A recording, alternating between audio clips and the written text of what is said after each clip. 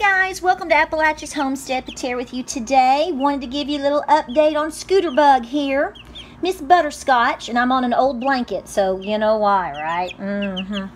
So I've taken her out of her brooder, and uh, because it's being taken outside, and we've taken everything out and completely washing it out.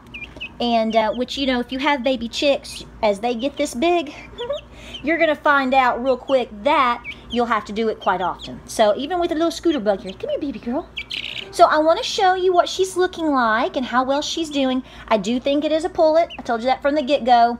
Um, we're looking at her being two weeks and one day. Come on, baby. Yeah. Come here. And she is such a sweetheart. Oh my word. Now she is a full buff Orpington. This is the Scotch tape baby. And she has such a unique personality. Okay. I just want to make sure she doesn't flop off. But you're seeing just uh, the develop. What I want to show you is how you know how they develop and what all you're seeing coming in in just two weeks. It's like you're dealing with an entirely different animal, which in a sense you are. Uh, you know, sort of preteen, little sassy, right? Yeah, so cute. Not preteen all the way.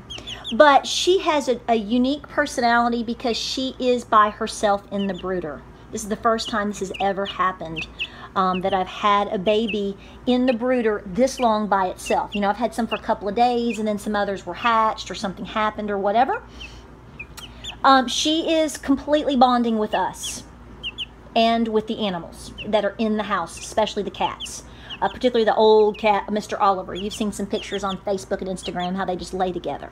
So, you know, you have sort of this like imprinting, if you will, uh, going on. very much a, like, a, are you my mother sort of phenomenon. Yeah, she literally will chirp for you. Um, and then when you come to her, come on, when you come to her, come here.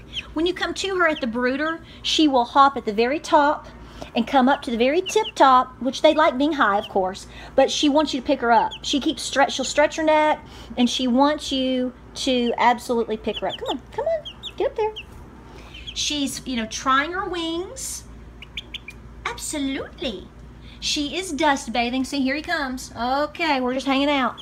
She absolutely is um, trying to dust bathe. She she dust bathes anywhere anywhere she possibly can. Hey, come here. Look, here's your buddy. Look here. Okay. Yeah, there's your buddy.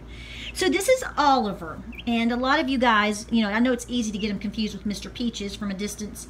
This is my oldest cat. He is 19 years old. He is a um, full tabby, orange tabby, dark orange tabby, and we've had him. He's 19 years old. Look, look, look watch her. We've had him for 19 years. I uh, got him when I lived in Nashville at PetMed when I worked as a uh, vet tech assistant.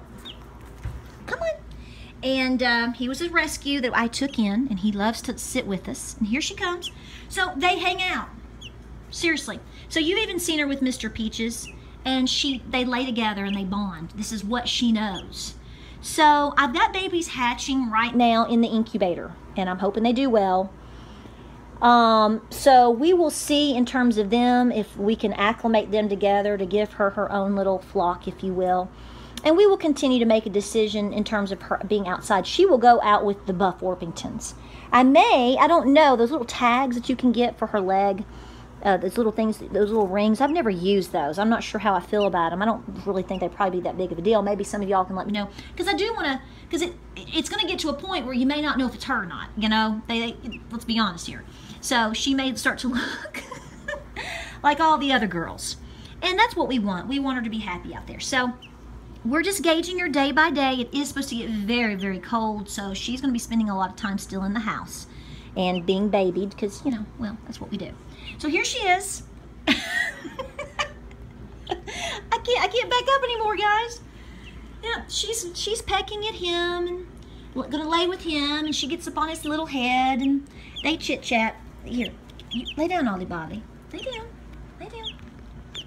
Yeah. They're big buddies. Their favorite thing is in the evenings, especially right now when we've had a fire going, when it's uh, got a little bit cool, is they will literally um, sit in my lap and uh, with the fire going right there in the recliner. You've seen it. is your buddy here? Yes. Oh my goodness. So just to show you how she's progressing, and uh, I'll try to get another shot here in a second. So we just appreciate you watching. Oliver, I know you want to snuggle. Everybody wants to snuggle. Everybody, come on. Everybody, yeah, he's over here. He's over here. Everybody wants to snuggle. Yeah. Guys, thanks for watching. We appreciate you here at Appalachia's Homestead. So many of you want to see how Miss Butterscotch is doing. And we may be sticking true and true indeed to the name Starry. Absolutely. All right, guys. Thanks for watching. Whoop! Where are you going? Oh, can't leave Oliver. Nope, can't leave Ollie Bolly. Can't leave your buddy. All right, guys. Take care out there. oh, careful, He needs his eyeballs. Look here, say hi. Oh my goodness. Say we're number one buddies. Don't fall. Don't fall. Yeah.